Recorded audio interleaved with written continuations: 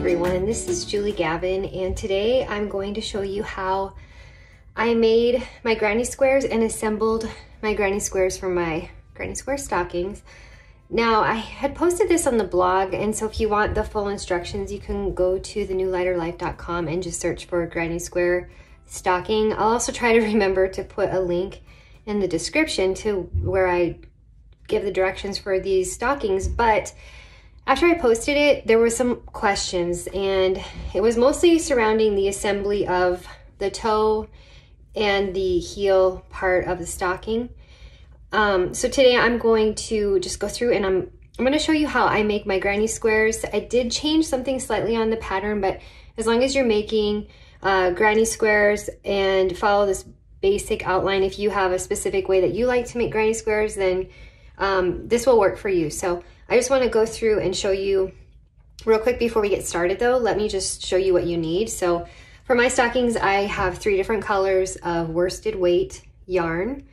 So you're gonna need three skeins, depending on how many you make. Um, these are kind of my leftovers because I made several different stockings this past year. You're also gonna need either a size H or size I hook. Uh, more recently, I'm working with the H and I prefer it. So today I'm gonna use the H hook. You'll need a scissor, uh, an embroidery or tapestry needle, and as you can see, the eye of it is very big, so it's really easy to, blunt on the end. It's really easy to sew these uh, stockings together. And lastly, we have some fabric fusion. I most um, recently got this, um, started using fabric glue to tie up my ends, and I prefer it. So that's what I'm using today, and I'll just show you that really quick. All right, so let's get started. First of all, you need to have your center or your foundation for your granny square. I'm doing my center in red. Now there's two ways you can do a foundation for a granny square. The most traditional way is that you would do a slip knot and then chain four, and then you would join your last chain to your first chain with a slip stitch, and then you would create your loop. However, more recently, um, I just think it's become popular to do a magic loop because you can make your foundation as tight as it needs to be depending on the stitches. It's just very simple. So this is how I do my magic loop. I hold my yarn with my thumb over my two fingers. My tail is coming over and I'm gonna wrap it, wrap the yarn around my two fingers again, cross it over. And some, it helps just to have like a cross, but you're gonna go under the first one, the bottom stitch or bottom piece bottom yarn over the one that you just ended the wrap around with. Yarn over and grab it with the hook, and then you're gonna go back over and grab the top yarn again with your hook, and you're gonna pull it through. So this is my foundation. Now, if you opted to do the more traditional, you would do, like I said, slips, uh, a slip knot, chain four, and you'd make your ring. Well, this, our ring is already made now. So I can just start doing my granny square clusters, four sets of three clusters. The clusters are double crochets, but I have to get my height on my first one. I can't just start doing a double crochet. So it's gonna be four sets of three.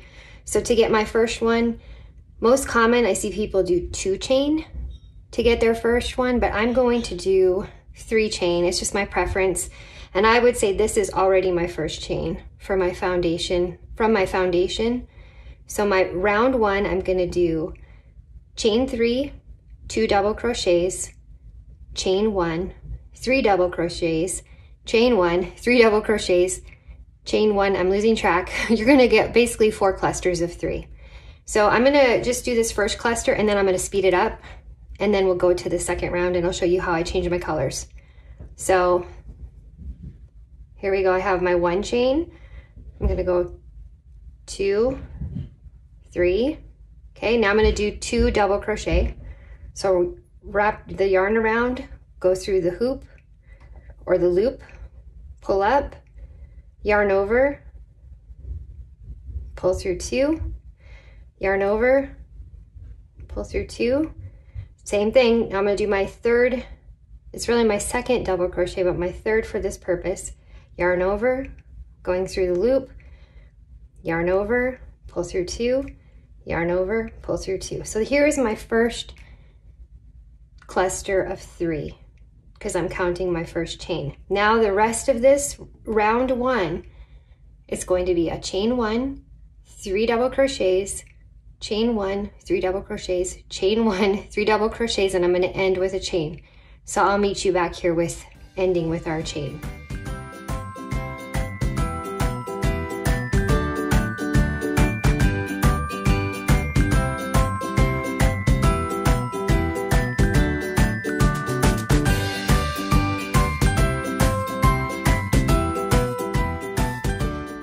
Here we are. So this is the end of my first round.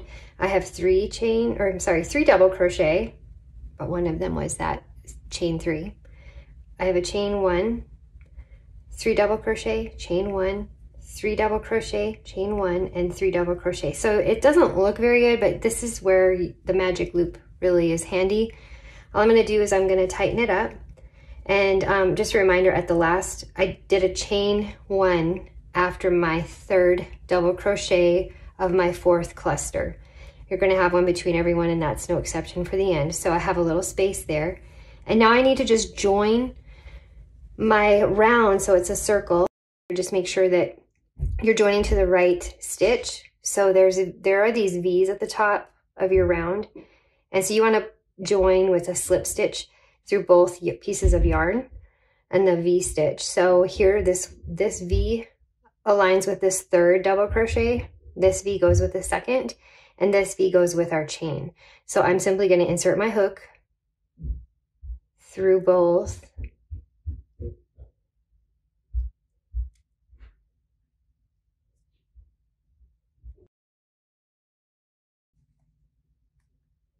And pull the yarn through both. And now this is the end of my first round. And so what you want to do is you just want to snip your yarn. We'll set that aside and you're just going to pull your yarn through. Now you need to secure it because it's just going to come out. So the way I like to secure is I find a spot on the back and um, just a stitch that you're not going to see from the front. And I'm just going to insert my hook. I'm going to grab my yarn pull it through part way, and then I'm going to pull through again on itself. So I'm just making a little knot, and then you're going to tighten it down. All right, so now that we're done with our first round, we need to do our second round. And for this, I'm going to use a, like a cream or an off-white kind of color. And I prefer not to attach my second color to where I just made this knot or where that, you know, chain three was. So I'm gonna go back just one more cluster and I'm going to attach this in the space of that chain one. So let me just pull through this yarn. Now once I pull it through, I'm gonna simply tie a knot and there's gonna be a tail and I'm gonna work that tail in. So here we go. It's the same process. So don't, um, it really doesn't get complicated. I think granny squares are probably one of the best beginner projects because you just simply keep repeating the same pattern, but you're going to, on this round, instead of having the four clusters of three, you're gonna have eight clusters of three. Each corner is gonna have two clusters of three, two clusters of three, two clusters of three. And then on the next one, you're gonna have 12, which you're gonna have a side one as well.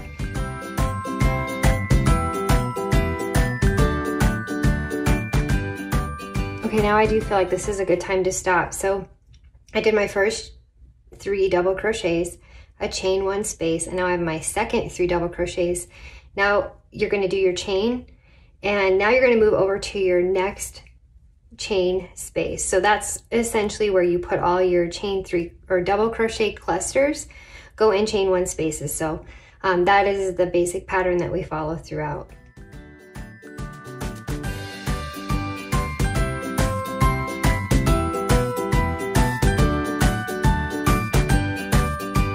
the end, I've done my chain one and I'm gonna join it the exact same way.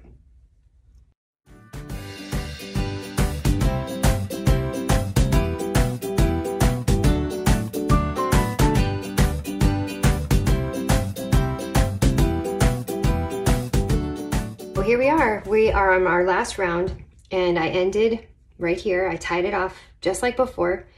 And I'm just gonna join, start this round with my green in this chain one space. You're doing 12 clusters of three double crochets. And so on the side, you're only gonna have one cluster of three double crochets. On the corners, you're gonna have two. So that's how they come apart. So two, four, six, eight, nine, 10, 11, 12 is where your trip, your clusters of three. So let me do this one real quick. Again, starting the same way, we're gonna end the same way.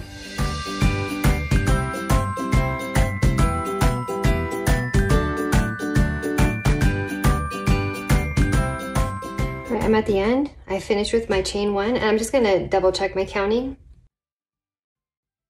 And we're good. So I'm gonna connect it the same way.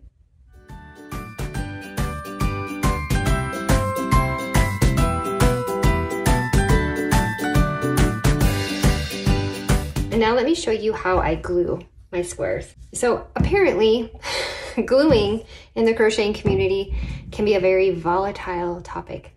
So I have done granny squares and just crocheting for years without gluing and inevitably a piece of yarn or a tail comes out.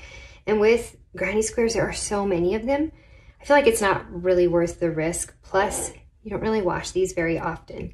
So um, I'm going to just show you really quickly.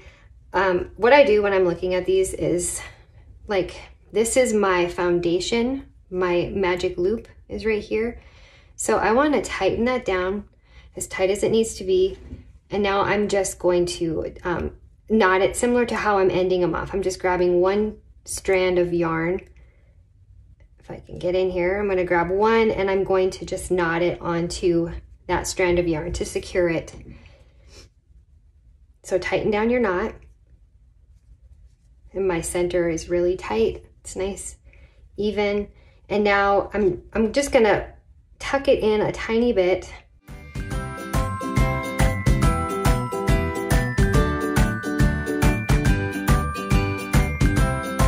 So I pull the stitch back and I'm gonna put a tiny, tiny amount of fabric glue right at the base. So does not take much at all. It's just the smallest amount and it is a little bit tacky. So you need to give it just a little bit of time to, um, to cure all the way. But see, it's kind of got a little fuzzy. I just press it down on that.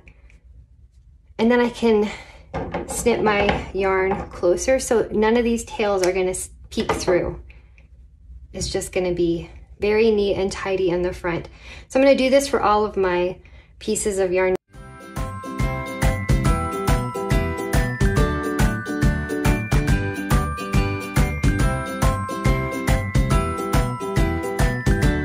Need to complete the granny square is you need 16 single squares, which will be four sets of three and one set of four.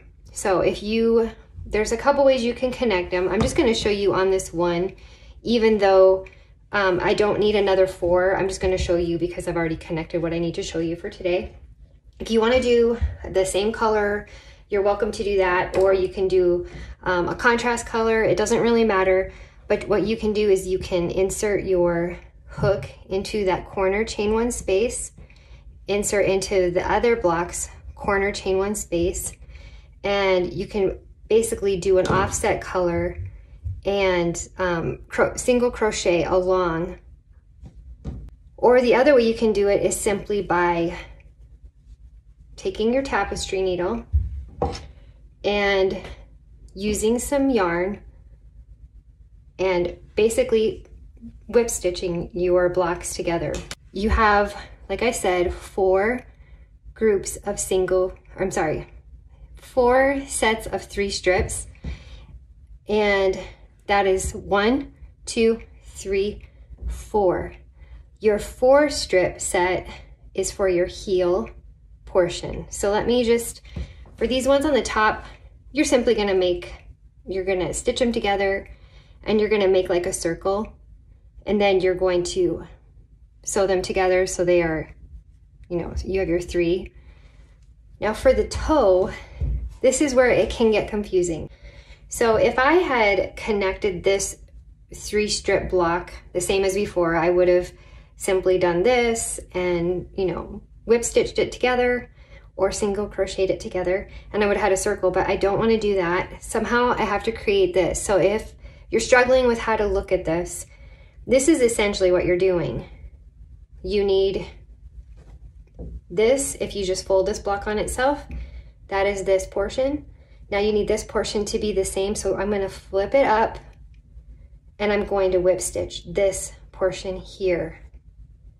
Now, what's best to do is to start here and sew this all the way along here and then sew it all the way along here because you need your bottom toe to be closed up.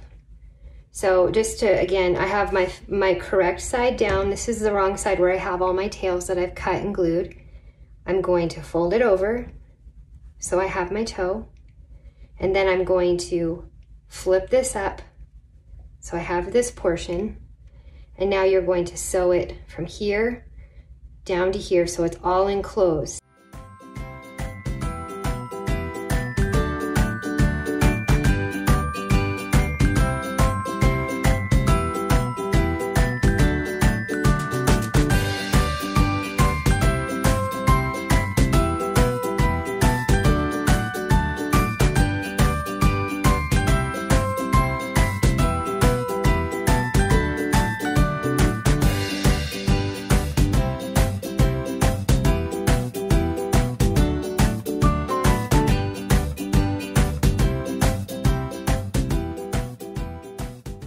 So here I am at the end. I've sewn from here to here.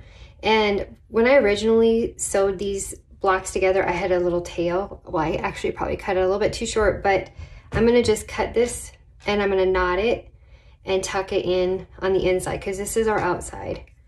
Um, so that is it for my toe portion. Let me do that really quick. So, guys, I messed up and I didn't actually record me explaining how to set up your heel portion, but this is the basic layout that you want to follow. You're going to lay your strip, your four block strip face down, right side down, and then your far left block, you're going to turn it so that it creates a corner or a triangle, and then you're going to bring your far right block over and you're going to sew that one seam down to create your heel strip. All right, so as you can see, we've completed this right here. This is the same strip and it would be hanging off, which is weird, but we're not gonna deal with this portion yet. First, we're going to sew our toe. Same way we did the top portion, we're gonna sew our toe um, to our bottom, or I'm sorry, our heel strip to our toe strip. And just keep in mind as you move along, you want these to all line up. So when you get to the actual heel portion, you are gonna leave this open. So I'm gonna sew from here all the way to the front and then ending right here. This is gonna be open and I'll show you that when I'm done.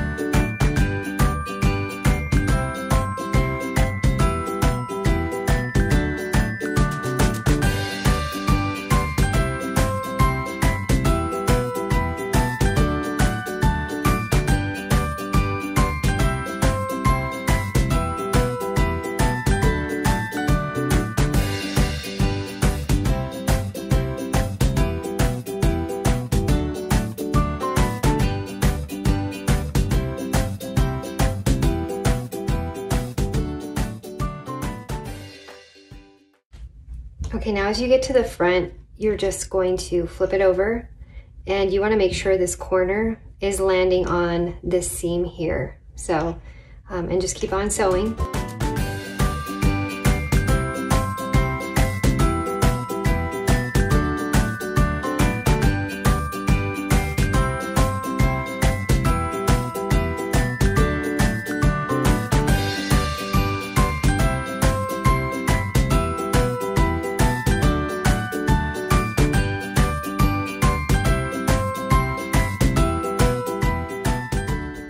Now for this portion, I'm just going to keep stitching and make sure that this is completely closed up and then we'll deal with this portion, the actual heel portion. So if this helps, here, let me flip this so it makes better sense. So we're right here, right here. We're gonna just make sure this is really closed up before we sew up the heel.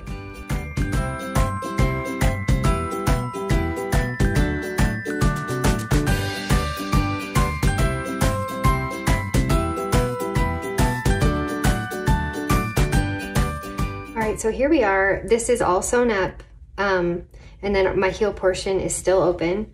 So in order to get this heel to be uh, straight across versus, or to smooth, smoothly, um, to tailor up, you need to turn your foot inside out, and then you're going to sew along up until the corner of your um, center, or your first round. So let me turn this inside out. And actually, I'm just gonna push my needle in so that my string is on the inside because I'm just gonna keep using the same string or yarn. All right, so here we are. My right sides are together. My foot underneath is all sewn up. This is all sewn up. And now I'm going to just stitch um, almost like a, I think a stem stitch if you do any kind of embroidery, just up and down, up and down, up and down. You can also just take this and put it on a sewing machine and just sew from this corner where it's open, from this corner up to that point to the center of that red. And then once you turn it right side out, it's gonna have this edge. It is a little bit bulkier, but it gives it the right shape that you're gonna need for your stocking.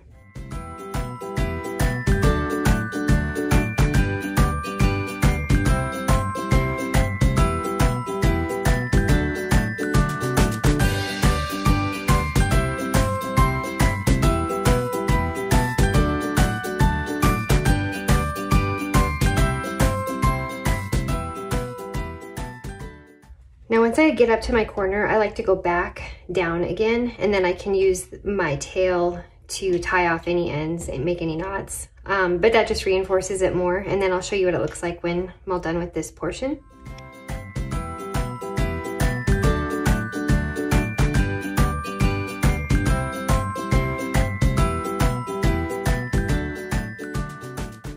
And now let me show you, I'll, I'll, glue it and then I'll turn it around so you can see what it looks like on the outside.